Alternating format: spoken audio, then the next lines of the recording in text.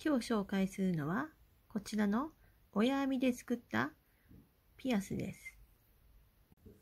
今日は刺繍糸を使って編んでいきます。刺繍糸を3本取りにしてビーズを通します。ビーズは全部で60個使います。この他にこのようなゴールドのリングを使います。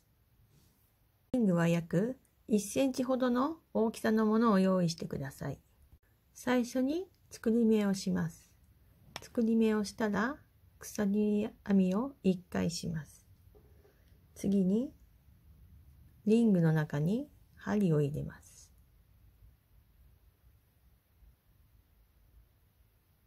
針を入れて糸を引っ掛けて引き抜きます。このようになります。ビーズ4個を手繰り寄せて鎖目1つで閉じます。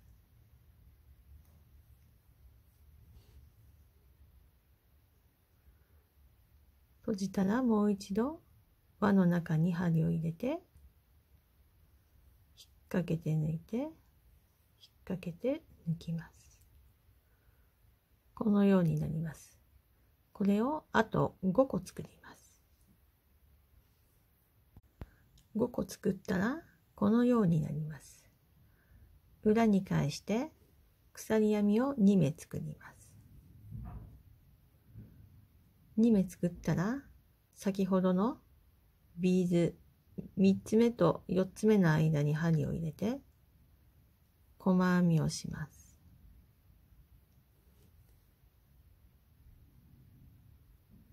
ビーズを3個手繰り寄せます。手繰り寄せたら鎖目1つで閉じて同じとこに針を入れて細編みをします。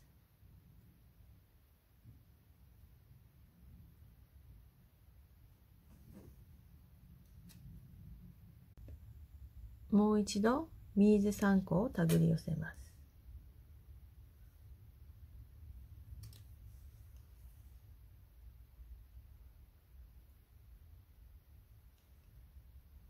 鎖目一つで閉じて先ほどと同じところビーズ3つ目と4つ目のところに針を入れて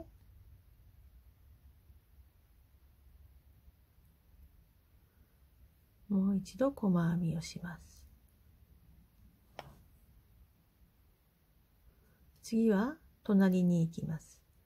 同じようにビーズ3個目と4個目の間に針を入れて同じように編んでいきます。残り全部同じように編んでいきます。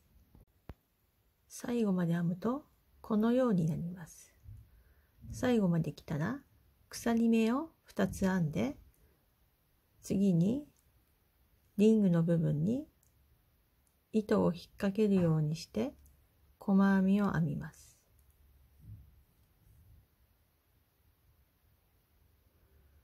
あとは反対側の端までリングが隠れるように細編みを編んでいきます。